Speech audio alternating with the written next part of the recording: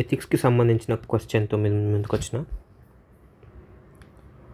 So GS ఫోర్కి సంబంధించిన question just పది మార్కులది. నూట యాభై పదాల్లో రాయాలి. క్విక్గా చెప్పేస్తాను తొందరగా. మన ఏమేందో చెప్తాను ఫస్ట్ పది మార్కుల క్వశ్చన్కి వీలైతే నాలుగు.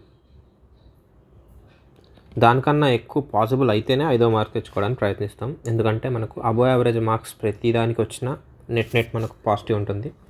ఎథిక్స్లో కేస్ స్టడీలో తెచ్చుకోవడానికి ట్రై చేస్తాం ఎక్కువ. నార్మల్ క్వశ్చన్స్లో టెన్ మార్కర్ క్వశ్చన్స్లో వీలైతే ప్రయత్నిస్తాం. కానీ మనం మెయిన్ అజెండా ఏముంటుంది? దీనికి ఎక్కువ టైం వేస్ట్ కావద్దు విత్ ఇన్ టైం లిమిట్ రాయాలి. అబో యావరేజ్ ఆన్సర్ రాయాలి. పదికి నాలుగు ఏడు నుంచి ఎనిమిది మార్కులు పదిహేను మార్కులకు. అంతే. ఇది మన టార్గెట్. సరే. క్వశ్చన్లోకి వెళ్ళిపోతే ఈరోజు క్వశ్చన్లు ఏమంటున్నాడంటే మొదట కీవర్డ్ ఏముంది? క్రిటికల్ ఎగ్జామిన్ అంటున్నాడు. క్రిటికల్ ఎగ్జామిన్ అంటున్నప్పుడు దేని క్రిటికల్ ఎగ్జామిన్ అంటున్నాడు? ఏ కాన్సెప్ట్ని? Categorical imperative. కేటగారికల్ ఇంపరేటివ్ అంటే ఏందో ఆన్సర్లో చూద్దాం. Or concept of absolute moral command ఇది concept actual central theme of the question ఏంది ఇది. ఏ రూపంలో? As ethical premise of Immanuel Kant అటువంటి కేటగిరీల ఇంపరేటివ్ గురించి రకరకాల మనుషులు చెప్పిండొచ్చు కాకపోతే మనకు క్వశ్చన్లో అడిగింది ఏంది? ఇమాన్యుయల్ క్యాంట్ చెప్పిన ప్రమైస్లోనే డిస్కస్ చేయమంటున్నాడు. ఎట్లా? క్రిటికల్లీ క్రిటికల్లీ అంటున్నాడంటే విమర్శనాత్మకంగా. విమర్శనాత్మకంగా అంటున్నాడంటేనే మనం విమర్శించడానికి ఫ్రీడమ్ తీసుకోవచ్చు. సరే. సో ఫస్ట్ ఈ అబ్జల్యూట్ మోరల్ కమాండ్ యొక్క కాన్సెప్ట్ ఏంది? కేటగిరికల్ ఇంపెరేటివ్ అంటే ఏందో? దాంతోనే స్టార్ట్ చేద్దాం. ఇంట్రొడక్షన్. ఇక్కడ ఈ కరెక్టెడ్ ఫైల్లోనే చూడొచ్చు. ఎందుకంటే ఈ ప్రాక్టికల్గా రాసిన ఫైలే పట్టుకొచ్చినాను అంటే ఇందులో లోపాలు కూడా ఉన్నాయి.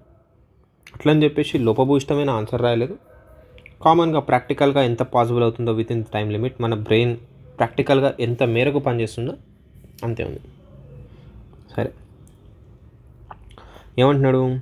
Categorical imperative is key concept that posits an absolute moral command or principle that applies to all rational beings ఎవరికి అప్లికేబుల్ అవుతుంది ఇది? కేటగరికల్ ఇంపరేటివ్ అంటే ఏంది ఫస్ట్ ఒక అబ్సల్యూట్ మోరల్ కమాండ్ అంటున్నాం ప్రిన్సిపల్ ఎవరికి అప్లై అవుతుంది? అందరికీ అప్లై అవుతుందా? రేషనల్ బీయింగ్స్కి మాత్రమే. అంటే రేషనల్గా లేకుండా ఇర్రేషనల్గా ఇల్లాజికల్గా మాట్లాడితే అటువంటి వాదనను గెలవడానికి కేటగిరికల్ ఇంపరేటివ్ పనికి వస్తుందా అంటే పనికి రాదు. అర్థమైందా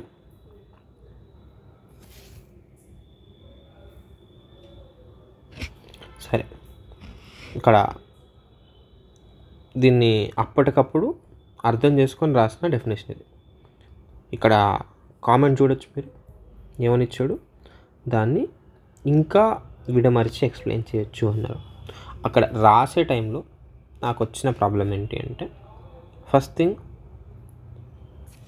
మనకున్న టైంలో మహా అయితే ఎంత రాయొచ్చు?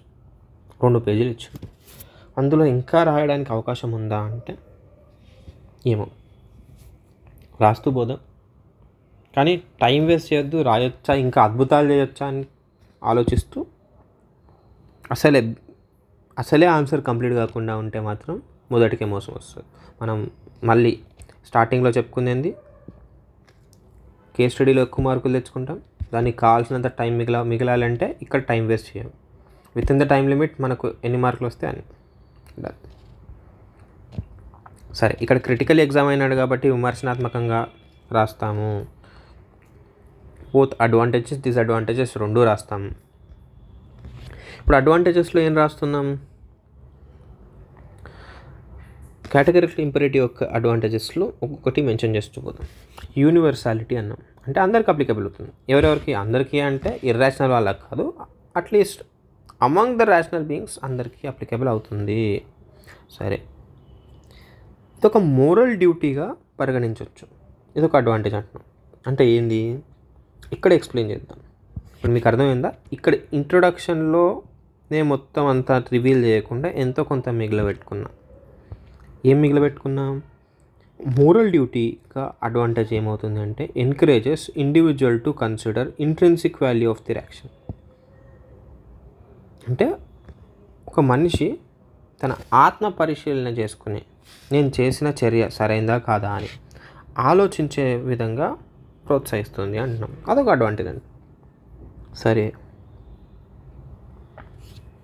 ఇక్కడ వచ్చిన కామెంట్ ఏంటి అంటే ఎగ్జాంపుల్ ఇవ్వమంటున్నాడు. Like intrinsic value of the action అని చెప్తున్నప్పుడు అటువంటి మొరాలిటీ దేనికి దారితీస్తుంది? దాని అడ్వాంటేజ్ ఏంటి అంటే డివోషన్కో ఇంటిగ్రిటీకో అవసరం పడుతుంది అంటున్నాడు. సరే. రేషనల్ బీయింగ్స్కి అప్లికబుల్ అవుతుంది అన్నప్పుడు అది రేషనల్గా ఆలోచించే దారిలో తీసుకెళ్తుందా? క్రిటికల్ థింకింగ్ని ప్రమోట్ చేస్తుందా? పర్సనల్ రెస్పాన్సిబిలిటీ అంటే తన చర్యలకు బాధ్యత వహించే విధంగా ఆలోచించే ధోరణిని ప్రోత్సహిస్తుందా లేదా? అంటే తర్కరహితంగా మాట్లాడకుండా తర్క సహితంగా హేతుబద్ధంగా నడుచుకునే ఆ పాత్రలోకి తీసుకెళ్తుందా లేదా మనని? అదే. సరే. వీటన్నిటికన్నా ముఖ్యమైనది ఏంటి అంటే హ్యూమన్ డిగ్నిటీ పట్ల రెస్పెక్ట్ పెంచుతుంది. అసలు హ్యూమన్ డిగ్నిటీకి రెస్పెక్ట్ పెంచడం అంటే ఏంది? ఒక మనిషిని ఏదో సాధించడానికి అంటే ఏదో వేరే గోల్ సాధించడానికి వాహకంగా వాడుకోవద్దు. మీకు వాహనం వాహకం అంటే తెలుసు. దాంతోపాటు సాధకం సాధ్యం అంటే ఎన్స్ మీన్స్ మధ్యలో డిఫరెన్సెస్ అర్థం చేసుకోండి. సో మనిషిని మనిషికి డిగ్నిటీ ఇవ్వడం అనేదే ఒక ఫైనల్ గోల్ ఇవ్వడం ద్వారా నాకేం లాభం అన్నట్టుగా కాకుండా ఇవ్వడమే ఒక గోల్ అన్నట్టుగా ఆ- వాదనకు రెస్పెక్ట్ ఇస్తుంది సరేనా? సో ఇట్లా కొన్ని మనం అడ్వాంటేజెస్ చెప్పుకున్నాం. ఇక్కడ ఏమన్నా అంటే despite formulation of unconditional guiding decisions categorical imperative is criticized for lack of flexibility. Flexibility లేదంటున్నాం. ఎందుకంటున్నాం? ఇక్కడ చెప్పుకున్నాం కదా యూనివర్సాలిటీ అంటున్నప్పుడు అందరికీ ఒకే రకమైనది ఇస్తున్నాం అన్నప్పుడు one size fit for all అన్నట్టుగా మనం చేసేది. In quest for universality very less room for flexibilities afforded అయితే ఇక్కడ తొందరలో నేను క్వాంటిటీ మీద ఫోకస్ చేసినప్పుడు క్వాలిటీలో ఏం మిస్ అయింది అంటే ఎగ్జాంపుల్స్ ఇవ్వాల్సింది. ఎట్లా?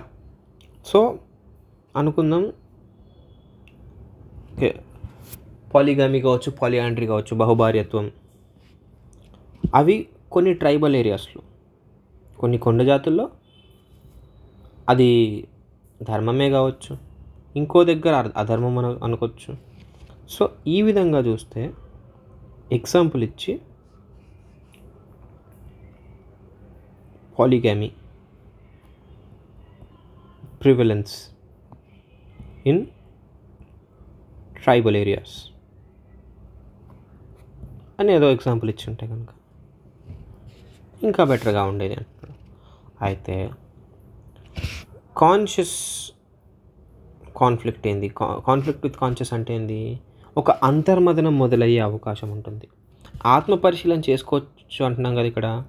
సో ఆ మోరల్ డ్యూటీ విషయంలో కావచ్చు మనకి ఈ ఈ అడ్వాంటేజెస్ ఉన్నప్పటికీ వీటిని ప్రోత్సహించే దారిలోనే ఒక ఒక రకమైన అంతర్మదనం మొదలవచ్చు ఆత్మ పరిశీలన చేసుకుంటూ ఉన్నామంటే అది మంచిది కావచ్చు కానీ అది అంతర్మదనానికి దారి తీయొద్దు ఇప్పుడు ఆల్కహాల్ కన్జంప్షన్ అనేది ఇస్లాంలో హరాం ఇంకెక్కడో లేదు అన్నప్పుడు వాళ్ళు యూరప్లో ఉన్నప్పుడు అక్కడ కండిషన్ ఏంటి అంటే ఏ ఎడారిలోనో ఉన్న దగ్గర రేగిస్తాన్లో ఉన్నప్పుడు ఆల్కహాల్ అనేది డేంజరస్ అదే యూరప్లోనో నార్త్ అమెరికాలోనో చూస్తే చాలా కూల్ కండిషన్స్ ఉంటాయి.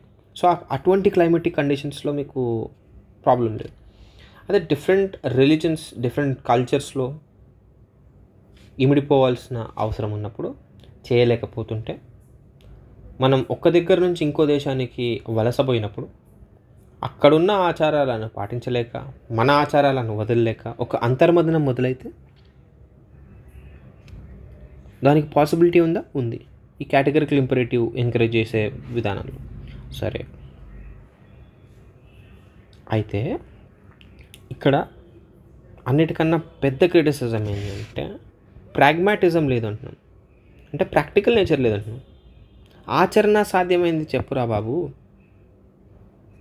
పెద్ద పెద్ద మాటలు చెప్తున్నాం అన్నట్టుగా ఉంది.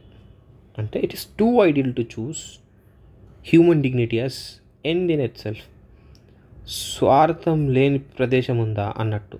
అంటే హ్యూమన్ డిగ్నిటీ ఇవ్వడం ద్వారా నాకేంటి అని ఆలోచించకుండా చెప్పడం అనేది ఒక చాలా ఐడియల్ సిచ్యువేషన్ అన్నట్టుగా చెప్తున్నాను ఇక్కడ మనం క్రిటికల్గా అనలైజ్ చేస్తున్నాం కాబట్టి ప్రాక్టికాలిటీ లేకపోవడం కూడా ఒక క్రిటిసిజం అనేది యాక్సెప్ట్ చేయాల్సి వస్తుంది. అది అన్నిటికన్నా కొంచెం హార్షర్ పాట చేదు నిజమైన? నిజమే. సరే. ఇంకా ఏమున్నాయి? ఒక మోరల్ కాన్ఫ్లిక్ట్ని అయితే క్రియేట్ చేస్తుంది అంతర్మదనం చేస్తుంది. కానీ సొల్యూషన్ ఇస్తుందా? కొన్నిసార్లు మనం ర్యాషనల్గా హేతుబద్ధంగా ఆలోచిస్తున్నప్పుడు ఎమోషనల్గా ఎంపతి కావచ్చు సింపతి కావచ్చు లేకుండా ఉంటే ఏమవుతుంది? ఆ మోరల్ కాన్ఫ్లిక్ట్ ఏదైతే ఉంటుందో అంతర్మదనం ఏదైతే జరుగుతుందో రూల్ బేస్డ్గా కావచ్చు ర్యాషనల్గా కావచ్చు అవుట్కమ్ బేస్డ్గా ఆలోచించినప్పుడు ఆ మోరల్ కాన్ఫ్లిక్ట్ని అడ్రస్ చేయడంలో ఫెయిల్ అయ్యే అవకాశం ఉంది. నేను కొంచెం చెప్పేది గాల్లో పోతుందా? ఇక్కడ కూడా ఎవాల్యుయేట్ చేసే వాళ్ళకి అదే జరిగింది. సో ఒక ఎగ్జాంపుల్ ఇవ్వమంటున్నాడు సో ఇంతకుముందు మాట్లాడుకుంది. మరి వలస పోయిన వాళ్ళు అనుకుంటే అనుకుందాం హిమాలయాలోకి కూడా పోయింది అనుకుందాం. హిమాలయాల్లో పోయినప్పుడు ఒక ఎడారి ప్రాంతంలోనో ఇంకెక్కడో సమ్ తీర ప్రాంతంలో ఉన్నవాళ్ళు హిమాలయాల్లోకి పోయినప్పుడు ఎట్లా బతకాలి? లేదా అంత అడవి కాకుండా ఎడారిలో ఉన్నప్పుడు మాంసాహారం తినాల్సి వస్తుందా? మనకు పళ్ళు అంతగా అవైలబుల్గా లేవు. అట్లాంటప్పుడు ఏం చేయాలి? సో తప్పనిసరి పరిస్థితుల్లో మాంసాహారం సేవించాల్సి వస్తుందా? అన్న క్వశ్చన్కి ఆన్సర్ ఏంది? అంటే తనకు సొల్యూషన్ ఎస్ అని చెప్ప చెప్పగలవా లేదా అనేది తనంతకు తాను డిసిషన్ తీసుకోవాల్సి వస్తుంది. ఈ కేటగిరికల్ ఇంపరేటివ్ అనేది ఒక దారిని చూపించడం లేదు. సొల్యూషన్ వైపుగా తీసుకెళ్ళడం లేదు. ప్రశ్నలతోనే ఆపేస్తుంది. అంటే బదులు కూడా ఒక ప్రశ్నతోనే. అంటే ప్రశ్నకు బదులు ఇంకో ప్రశ్న ఇస్తుంది కానీ సమాధానం ఇవ్వడం లేదు. సరే. ఐదవ ఐదవ క్రిటిసిజం ఆఖరి క్రిటిసిజం ఏంటి అంటే కల్చరల్ అండ్ కాంటెక్స్చువల్ ఇంటర్ప్రిటేషన్ ఉంది అన్- అంటే టైం అండ్ స్పేస్లో ఇంటర్ప్రిటేషన్ సేమ్ సినారియోది మారచ్చు అంటారు ఇప్పుడు సతీసాగనం కావచ్చు. అది ఇదే నేల మీద ఇదే గడ్డ మీద ఒకప్పుడు సతీసహగనం ఏమైంది? సరైంది అని చెప్పేసి యాక్సెప్ట్ చేశారు. ఇప్పుడు ఎక్కడా యాక్సెప్ట్ చేయడం లేదు. అది టైంలో. స్పేస్ అంటే ఇదే సమయంలో ఒక్కొక్క ఖండంలో ఒక్కొక్క దేశంలో ఒక్కొక్క ఆచారాలు ఉన్నాయి. సో వీటి ప్రకారం తీసుకున్నప్పుడు యూనివర్సాలిటీ అంటే అబ్సల్యూట్ కమాండ్ అన్ని దగ్గర ఉండ ఉండే ఒకే కమాండ్ ఏదైతే ఉందో అది పాసిబులా అవ్వడం లేదు. సో ఇవి మీకు. ఇప్పుడు మీకు అర్థమవుతుందా? సో ఇటువంటివి ఇచ్చి ఇప్పుడు కన్క్లూషన్ వైపుకి వెళ్ళాలి. నేను ఎక్కువ రాసినా లేకపోతే టెన్ మార్కర్ దాంట్లో క్లుప్తంగా రాయలేకపోయినా? ఆఖరిలో నాకు కన్క్లూషన్ రాయడానికి కొంత అటు ఇటు అయినా